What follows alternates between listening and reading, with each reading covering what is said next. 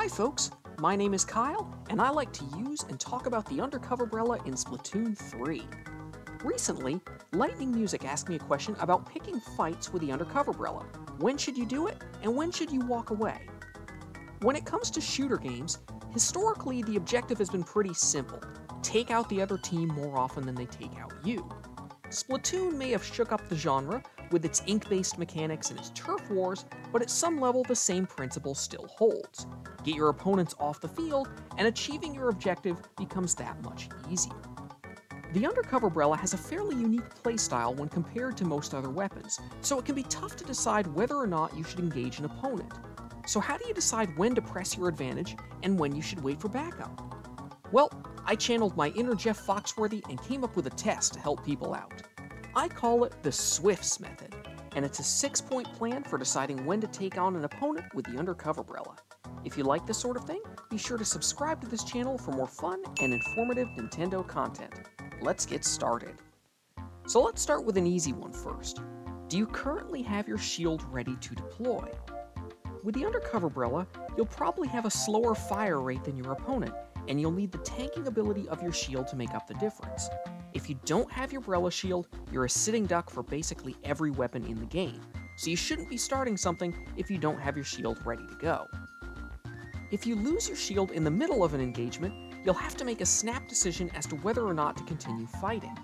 If you've already landed two hits and are confident in your dodging skills, you can hang in there to hit one more shot and get the KO.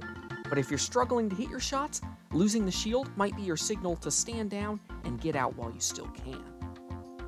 Next, let's examine who you're engaging. Does the weapon you're facing present a favorable matchup? The Brella is better against some weapons than others, preferring to take on weapons with longer charge times and avoiding weapons with unconventional mechanics.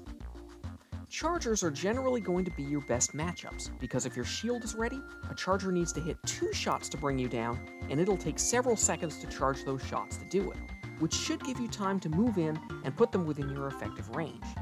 Squiffers and bamboozlers are a bit more tricky to deal with, but if you're moving around and keeping the charger in front of you, you'll generally have a fighting chance. Splatlings are a little trickier to deal with, but if you can use your shield and the terrain to avoid their shots, you'll usually have an opening to move in and take them down before they can recharge. Again, quicker charging models like the Nautilus will give you a bit more trouble, but in general, if you've got a path to your opponent, you can take this fight with confidence. Stringers are fairly similar to chargers, although thus far, they seem to charge slightly faster. The weapons, outside of REEF-LUX 450 missile spam, haven't been that popular in the meta so far, so my sample size against them is admittedly small, but I would say you still have a decent matchup against them, especially the vanilla Tri-Stringer. With shooters, if the opponent doesn't have a bomb to knock out your shield, these tend to be a neutral matchup. Lower DPS guns are a good matchup if you can get close enough to hit them, and even powerful guns like the 52 or 96 gal need a fair bit of time to chew through your shield. So generally, you'll have enough time, sometimes just enough, to take a shooter on 1v1 and come out on top. Dualies fall into the same category as shooters. Without a bomb, even the dapple dualies will need a little time to go through your shield, so you can engage them knowing that you'll have a fair chance to take them down. Dualie rolls will make it harder to keep them in front of you, so try to keep your distance as best you can to minimize the amount of shield movement that you'll need. Carbon and splat rollers can one-shot your shield if you're too close, and they generally want to be as close to you as possible, so you should always try to maintain your distance against them, and back up if they try to force the issue. One useful trick is to use your shots to lay down trails of ink in front of you to make it harder for the roller to move towards you. I've talked a lot about how the Undercover Brella will absolutely dominate Dynamo rollers, but it really depends on the Dynamo's approach to the fight. If they come at you with slow vertical flicks, you will eat them alive, but if they stick to horizontal flicks and try to arc their shots over your shield, they can be a bit tougher to take down. Splatanas fall into the same category as rollers. They've got one-shot power up close, so it's better to keep them at arm's length and force them to approach you instead of closing that distance yourself. Splatana Stampers are the scarier of the two thanks to their burst bombs, but both Stampers and Wipers can give you trouble if you let them. Brushes will go through your shield in a heartbeat thanks to their speed and power, and while ink brushes don't seem to be the threat they were in Splatoon 2, octo brushes are as scary as ever, so try to take these out from a distance, keep your shield in front of them as they're running around, and bail out at the first sign of claustrophobia. Blasters can get around your shield with their indirect shots, so these are one of the scariest weapons for an undercover Brella to take on. You should only engage them if they're in a really disadvantaged position.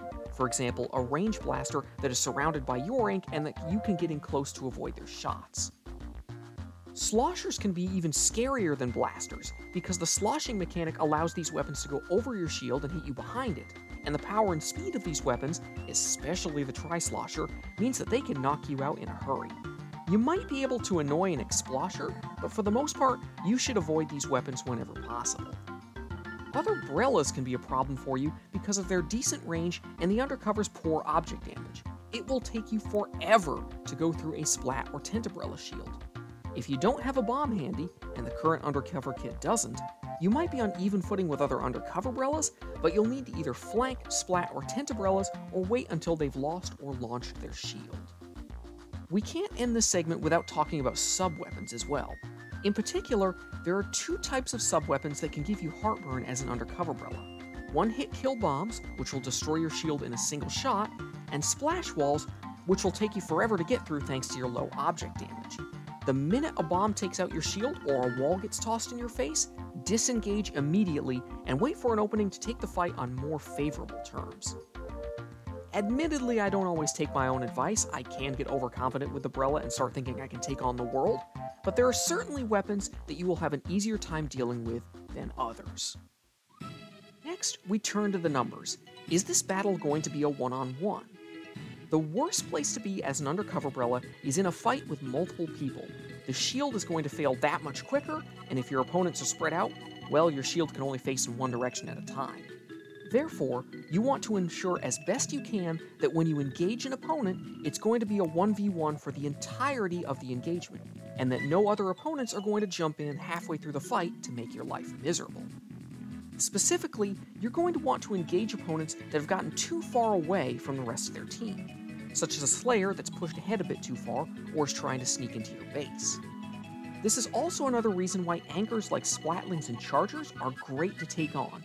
They tend to be by themselves almost by design, so when you approach them, you can be reasonably certain that no one else will be coming to bail them out. Now, if the fight isn't going to be a one on one, we face a different question. Can you keep the play in front of you? Now, I've been in enough 1v2 battles to know that it's definitely possible to take on multiple enemies and win, but you should only accept a challenge like this under certain circumstances.